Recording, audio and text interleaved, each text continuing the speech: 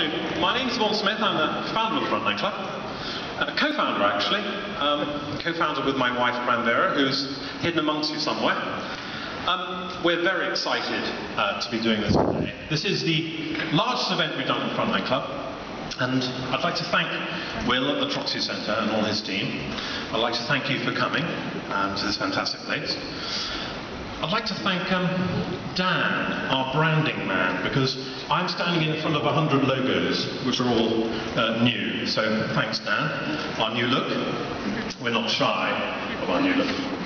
Um, I'd like to thank the Frontline Club staff, um, who worked extremely hard to put this on, um, particularly Flora and Millie, and so thank you all. Um, I'm extremely proud of you all. Uh, the Frontline Club exists to promote what's best in journalism um, and to um, put on debates and discussions like this. Um, we're a social enterprise, and if you wish to support us, come to Paddington if you haven't already been, uh, where we can feed and entertain you. Um, we do 200 events a year. Uh, as a social enterprise, the money you spend tonight and uh, any money spent at the Frontline Club helps us do this work, so we're very grateful for it.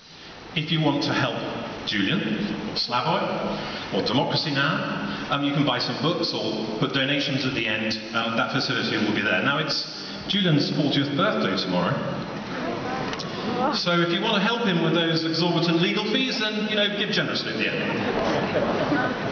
Um, so all that remains is for me to welcome Amy Goodman of Democracy Now! Amy is a multiple award-winning journalist, um, has uh, and, and, and, is the main presenter for Democracy Now! and has flown all the way from America to be here. And um, she, she's a pretty fine person, and I'm extremely glad to hand over to her now. Thank you very much.